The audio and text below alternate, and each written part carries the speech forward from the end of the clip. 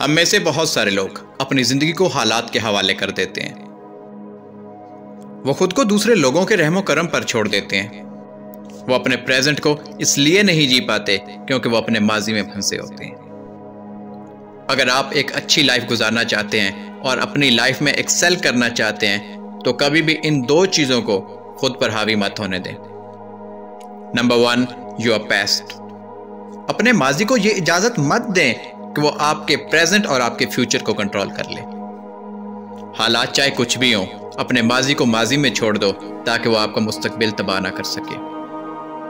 अपने माजी की तारीखियों को भुला दो, ताकि वो आपके रोशन मुस्तकबिल को तारीख ना कर दें। माजी में हो सकता है आपके साथ जुल्म हुआ हो, आपके साथ बेइंसाफी हुई हो। चाहे कुछ भी हो, वो वाकयात आपकी लाइफ में कोई बेहतरी नहीं ला सकते। लेकिन अगर आप भी नफरत करते रहेंगे तो आपको जिच करने वाले आपसे जीत जाएँगे।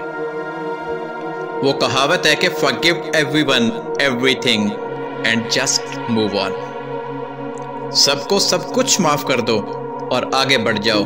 यही उसकी सजा और आपकी कामयाबी है।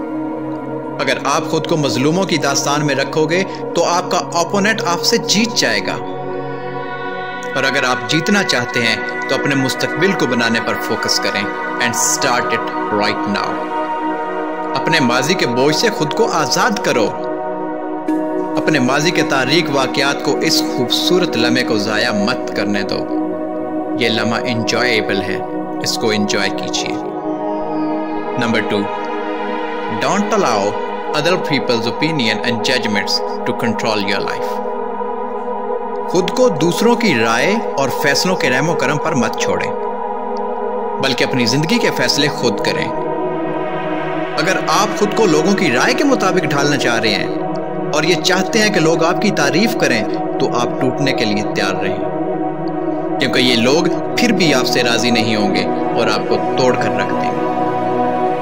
लोगों को खुश करना एक लानत है और इस लानत को खत्म होना चाहिए। कुछ भी करने से पहले खुद से सवाल करें कि क्या वो आप अपनी मर्ज़ी से कर रहे हैं या इसलिए कर रहे हैं क्योंकि लोग वो आपसे चाहते हैं। सर, आपको मुनफरद किसी वजह से तख्लीक किया गया है। आपको पैदा इसलिए किया गया है कि लोग उससे मोहब्बत करें जो आप हैं, ना कि उससे जो आप बनने की कोशिश कर रहे हैं। तो सर, जैसे हो, वैसे रहो। जिन लोगों को आपका ख्याल है, वो खुद आकर आपके साथ खड़े हो जाएँगे।